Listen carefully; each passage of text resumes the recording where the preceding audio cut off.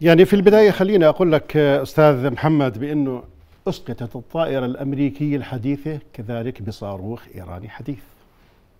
هذه معلومات كذلك هي حديثة جدا.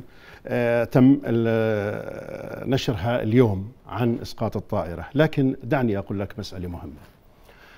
بكل أسف الإدارة الأمريكية وأنا أتحدث عن إدارة الرئيس ترامب لم تعطي التمدد الإيراني في المنطقة الأهمية الكبيرة بمثل ما أعطي مثلا الملف النووي الإيراني. آه، على خطورة الملف النووي الإيراني لكن وجود إيران الآن على أرض أربع دول عربية تمددت آه، إيران ربطت الآن ما بين مضيقين ما بين مضيق هرمز وما بين مضيق باب المندب من خلال سيطرة الحوثيين على بعض أطراف اليمن آه، أصبح هناك على الأقل الصواريخ الايرانيه اللي هي بأيدي الحوثيين تهدد التجارة في في في منطقة البحر الأحمر، تهدد التجارة في منطقة الخليج العربي. آه، غير ذلك آه، الآن آه، إيران موجودة في سوريا محيطة بكل المنطقة قريبة من الأردن، قريبة من هضبة الجولان، قريبة من الجنوب السوري.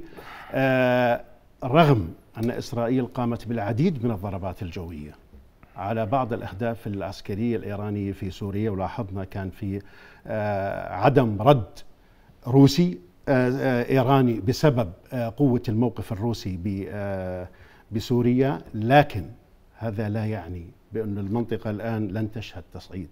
ستشهد تصعيد في في في في سوريا ستشهد تصعيد في العراق ستشهد تصعيد في اليمن.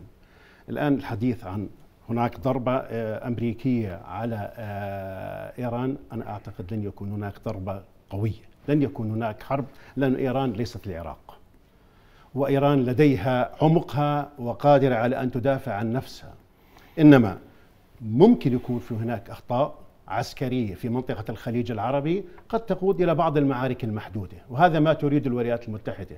وأنا بأكد على أن الانتخابات الأمريكية القادمة لن تمنح إدارة الرئيس ترامب وأنا بفرق الآن ما بين إدارة الرئيس ترامب وما بين المؤسسة العسكرية والمؤسسة الأمنية الأمريكية لأنه كثير من المواقف والقرارات اللي اتخذها الرئيس الأمريكي بكل أسف هي كانت آه، تجد معارضة عسكرية وكانت تجد معارضة أمريكية أمنية.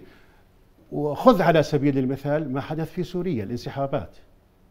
كم مرة أعلن عن الانسحاب وتراجع؟ الآن عم بيرفد المنطقة بجنود أكثر.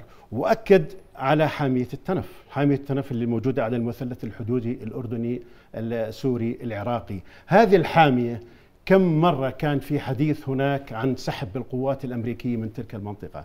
إذا باعتقادي أنا بأن المنطقة مرشحة لتصعيد نعم. أكثر من إيران. وأنا أخشى الآن أن يكون التصعيد كذلك على بعض الأراضي العربية. هناك قواعد أمريكية موجودة على الأرض طيب. الأردنية على الأرض السورية على بعض الأرض الخليج العربي قد تكون هذه كذلك أهداف, أهداف طيب. عسكرية طيب. إيرانية محتملة في المستقبل جميل.